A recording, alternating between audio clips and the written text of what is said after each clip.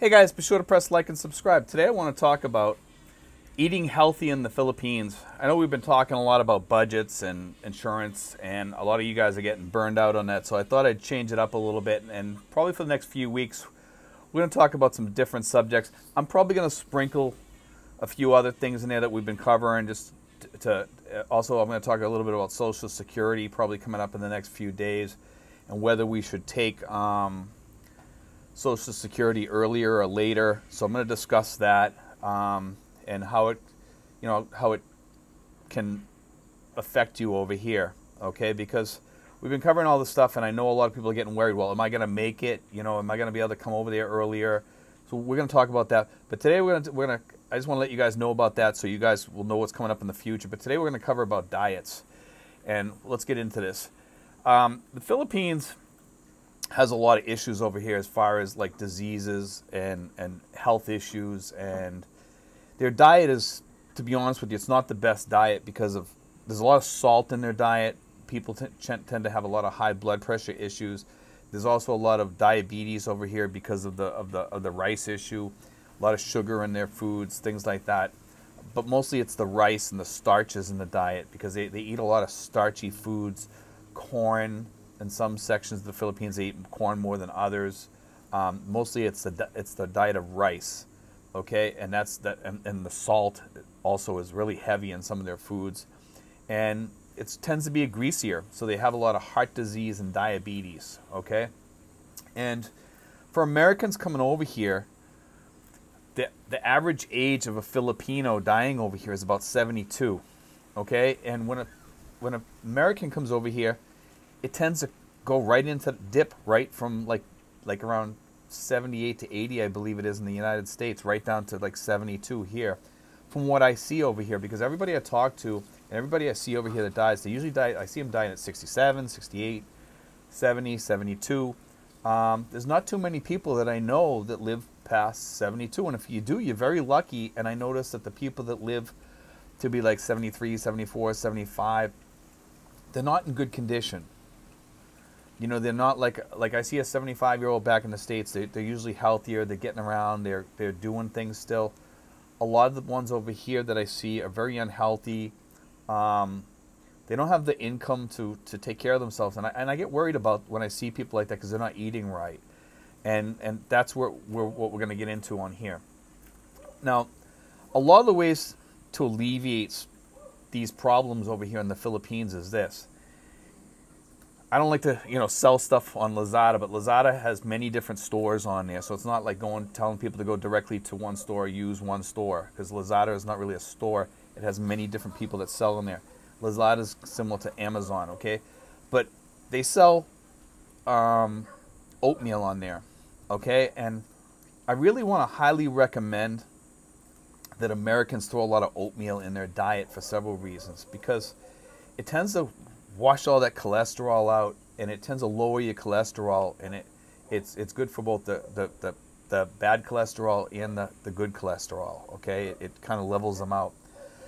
the other thing is a simple thing of just adding cinnamon on top of your your oatmeal will also take out cholesterol too, and and also the other thing about oatmeal is it also helps you with uh, blood pressure.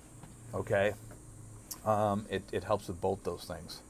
Okay, and the, the other thing is that you really want to watch the salt in your diets over here, guys. You really, really have to watch your salt over here. The, the, the, salt that they put in their foods over here, even when you go into a Western restaurant, and I've gone into a local pizza place around here that begins with S, and I won't mention the name, you know, I'll let you figure it out. And, you know, it's a local pizza place around here, and it's it's all around the Philippines, and it's pretty common around here. And it's it's a Western Western pizza place, and let me tell you something. I don't know what they're doing with their salt there. If they pour the whole salt shaker on that pizza or not, but every time I go in that place, afterwards my blood pressure is sky high, and my blood pressure back in the U.S. was normal, and since I've gotten over here, it started going up. So, and my diet hasn't really changed that much but I've start, started to change it, you know. So the thing over here is you have to go into restaurants and check their food because even that place is lasagna, okay, and they have lasagna there. It was so salty I couldn't eat it. You know, because my, you know, with my blood pressure already high, I have to watch my salt. So I have to be really careful of where I go. And one of the restaurants that I noticed that does watch the salt that they put in their food is this, is Kenny Rogers. Kenny Rogers, I gotta commend them that their food is really delicious. It's not over salted. It's it's decent food. It's it's good. It's healthy. Um, I enjoy their foods because they have a lot of vegetables. They have fruits in there. They have fruit drinks. They have good healthy drinks. They have water. They have uh, mango juice. Um, they have just about everything you can think of. They have iced tea. They have they have Coca Cola too if you want Coca Cola. But I mean, I wouldn't recommend that, even though I'm a big Coke fan. Um, the other thing over here is herbs. Okay, I want to get into this a little bit. And this really doesn't correlate to your diet too much, but sometimes it does because you can put some herbs in your foods. Okay? The thing about herbs here is you can go down and get the capsules, almost anything you want at any local mall here. And the herbs over here are different, and you need to start studying. I, I, I went to one of the malls around here, and the lady handed me a paper. And I, every time I go there, I grab one anyway. And it gives all, all the Asian herbs over here, what they're good for, all the Filipino herbs and stuff. tells you what they're good for, if they're good for sugar, if they're good for this and good for that. And ampalaya is one of them that grows on the trees, usually right around here. And I, I, I'm I, am probably looking at a couple of ampalaya trees around here. My eyes aren't that good, but we have ampalaya out here because my girlfriend comes out here and picks the leaves and puts them in food, and she eats that food. Now I'm not too keen on eating it that way. I'd rather just take it in a capsule form and, and have it lower my blood sugar. But I will say this: the ampalaya is one of the things that, that lowers your blood sugar. Um, there's there's all kinds of other herbs out there that, that, that do the same thing over here. We have like um, all these different mangosteen things that I've never even heard of in the United States that are that are good for your health over here. And um, we also have one if, if, you have kidney stones or gallstones, they have one over here for that. Um, if you're if you if you get a lot of that stuff, you can you can you can take that that type of herb. You want to learn those guys if you're over here because for you go the, for you to go to the hospital over here, it's cheap, yes, but a lot of the stuff you can alleviate with herbs over here. And I found that the herbs to be really really good. If you ever get a blood clot, guys, the, the, best thing you can take for it is regular cinnamon.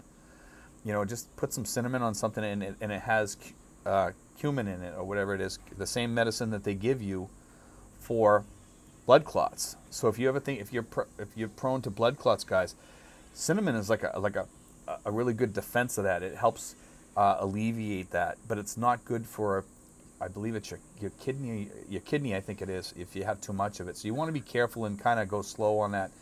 But but the good thing about cinnamon is it also lowers your blood sugar. So you want to be take it, but take it like maybe two capsules, two large capsules a day. That'd be the max I would take, guys, of, of that. Um, the other thing is fish. I'd be careful of eating freshwater fish over here because they have tilapia. It's not the healthiest fish in the world. In fact, it's one of the fish that, that throughout the world that they say has the most um, like toxins in it and stuff like that. It's not a healthy fish to eat. Okay, tilapia is just not a healthy fish. Um, the fish from the ocean around here are pretty good. Most of them are not farm raised. So like if you get the fish from the, the ocean here, and you can you can order fish online through like uh, Rare Foods, places like that. Um, the fish here is pretty decent. Um, the best way to do it is broil it. Um, I wouldn't fry it just to stay healthy. Just broil it and or bake it and have it that way. You know, start changing your diet up, guys. Start eating healthier. Over here, you can get a lot of fresh fruits. Pineapple is really, really good. You know, it's also good if you have a cough or anything like that, any lung ailments, because it has bromelain in it. Um, it's it's definitely one of the ones that you want to put in your diet is is pineapple. Pineapple is really, really healthy for you guys. And also put some lemon juice in your diet every day or lemonade. Even if you put a little sugar in it to sweeten it up or something like that, have that a little bit, or put some honey in there or something to sweeten it up. Maybe get some, you know, really good honey, some healthy honey. But be careful of Filipino honeys over here, guys. A lot of the honey over here is fake honey, and there's there's videos out there to tell you how to check to see if it's real or it's fake.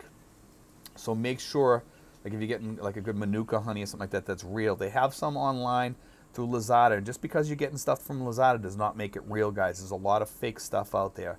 A lot of fake. There's even fake medicines, medications on there. So be really careful what about what you order. Make sure you have good sources of where that stuff's coming from. And also, guys, make sure that when you order herbs on Lazada, it's coming from really good companies with brand name stuff you know, that you know is real, and that's the best way to get it. And you can get these from the malls around here. The herbs around here are a little bit cheaper than the U.S. I notice. They're still a little expensive, but they're cheaper than the U.S. So that's a good thing, guys. But you know, like for vegetables and things like that, the markets around here are incredible. And if you guys live out in the provinces, you guys should be growing whatever type of vegetables you want to grow, such as zucchini, um, eggplant, or whatever type of plants you want to grow, tomatoes, um, all that stuff, beans, everything, squash. I mean, most of that stuff you can grow here. And, you know, some you can't, some you can. Check to see if you can grow it here. Zucchini does grow here, and zucchini is a delicious thing. What I do with zucchini is I fry it over here. I fry it on both sides, and when I flip it, while it's still hot, I put some mozzarella, sprinkle some mozzarella cheese, and put a little bit of pepper. And you don't have to put any salt or anything like that because the mozzarella cheese has enough. But you can put salt if you want, but the pepper gives it enough flavor that you can stay away from the salt because it, and also because the cheese has a little bit. And it's just delicious for breakfast. You can throw a couple scrambled eggs over it and just let it cook till it, it you know solidifies. Scoop it up, or you can even put put the um, zucchini inside an omelet if you want, or something like that. If you want to do something like that, it's delicious, you know. And some people cut up the zucchini into pieces, fry it that way with onions and peppers or something, and a little bit of ham. Throw it into your omelet. It's delicious, you know. But guys, just you know, eat healthy. You know, I, I, I see too many people over here not eating healthy. I, so I want to do this little video about this because I'm not I don't eat the healthiest. I'll be honest with you. I, am trying to change my diet, trying to get healthier. I used to eat. I, I, do take a lot of herbs. I will. I will tell you that I do take a lot of herbs. I do try to eat he- as healthy as I can. I do try to stay away from the Philippine diet for the most part. I, I, you know, Western diet's not that much better, but I try to. I try to eat as much as I can that I used to eat that was healthy before when I was back in New England. And back in New England, I used to go to Durgin-Park, which is a restaurant in Boston, and I used to eat a lot of their stuff. They had stews, they had uh, good fish, um, chowders, and stuff like that. Some of that's not the healthiest, but it's. I used to eat that like that, some really good healthy foods in there. They used to have some really good dinners and stuff like that. Really great food in there, and you could order a good healthy meal for a reasonable amount of money, and it was just delicious. And I missed that place because it closed down. It was open for over 100 years. I think maybe even 150 years. I'm not sure. But my my grandfather went there when he got off the boat, and it was one of the first restaurants that he ate at. And then my, you know, we went there with my father for many many years. Sometimes around Christmas we would go in there, you know, and we would eat there right around Christmas. I think, think either Christmas Eve or Christmas Day. Sometimes even on Thanksgiving we would go in there, and and I kept that up, you know, up until I, I left, going into Durgin-Park, up until they closed. I used to go in there every once in a while. I used to love that place for their healthy foods, and they had really good meats too, really healthy meats.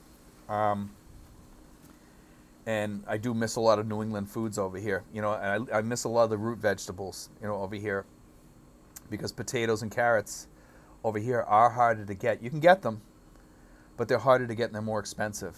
You know, and I like to have like a a good beef stew every once in a while, something like that, or a beef soup or a chicken soup or something like that, you know, and, and it's granted you got the salts in there and you got to be kind of careful, but you got to drink a lot of liquids over here too, guys, to wash that salt out of your system. And I know salt is like you need it for the taste, and sometimes it's kind of hard to get away from that. But guys, try to cut off that salt because you're going to get high blood pressure over here.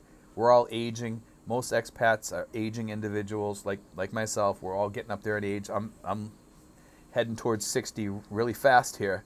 And I know some of you guys are in your 60s and 70s, and some of you in your 50s or 40s. But be careful because, like I said, when I got here, because of the change in diet, first thing that happened was, happened was my, my blood pressure popped up. So I want you guys to be careful that too. My sugar has actually been doing pretty good over here because I've been taking a lot of the herbs to keep that down. Like I said, ampalaya and the cinnamon has helped to keep that down and that's great because my, my sugar is, is so low that I'm not even I'm not even diabetic or pre-diabetic, and I've never been diabetic yet. Fortunately, I've never been diabetic, but my doctor said I was getting close there for a while, and now I'm I'm not again. So I'm really happy about that. and kind of proud of that actually that I I'm not I'm not at that level, you know. So and I don't ever want to be, and I do everything that I can do do to try to stay away from that, and you know also my cholesterol my cholesterol's popped up and down but whenever it starts popping up, I just go right back on the oatmeal. And I should stick to the oatmeal from now on. And I'm to actually order some oatmeal tonight, guys. And you can get like the all the different flavors. Be careful the ones with the high sugar and stuff like that. Um, you can get ones with banana. You can get ones with uh, apple cinnamon. Apple cinnamon might, might, actually be good to keep your sugar low. Just add a little bit, of, bit more cinnamon in there to kind of keep your sugar levels lower. Okay, and that's just a thought. You can get the brown sugar, um, maple and brown sugar, or maple um, and then there's also spices too, which is pretty decent. So all those are, are good oatmeals. Um, and there's not really a lot of sugar in there, guys. There's not. There's not a lot of sugar in it, so I don't think you have to worry because it's it's a small amount. It's enough to just fill up your stomach, and oatmeal kind of keeps you from eating more because it sits in your stomach for a while, which prevents you from eating more more food and, and gaining weight and stuff like that. So that's that's also a consideration. Like I said, it does clear out your arteries and stuff like that. And if you throw the cinnamon in, it's going to keep your sugar down and everything. So anyway, guys, just want to throw that out there, change it up a little bit, and talk a little bit about diet. And I do want you guys to be careful because, oh, like I said over here, most expats are, are dying at age 72, just like Filipinos. And it has to do with the diet. And it also has to do with the hospitals here and the hospital. So you need to be near a good hospital when you're over here if you want to live longer, and you need to get health checks up checkups twice a year, and you need to keep take take care of your dental hygiene, guys, when you get over here. Floss your teeth twice a day, and, and, and make sure you do that because believe it or not, your gums have to do with your heart. Listen to me on this. Your your heart is connected to your gums somehow. They don't really know why, but they know that people that floss floss their teeth have healthier hearts, and people that take care of their teeth, they have healthier hearts. So consider that in, in your daily regimen that you take care of your teeth and you floss your teeth daily, okay? And I can't stress that enough. And go to a dentist around here, guys. Get your dental hygiene, your dental care taken care of. Go to a good dentist. Find a good dentist. I've talked about bad dentists here before. Go to like uh, a, a, a, a university hospital. If you're around me, Go to De La Salle University Hospital. If you're up in Manila, I'm sure you can find some excellent dentists up there and not even have an issue. But anyway, guys, God bless. Take care. I hope that helps, guys.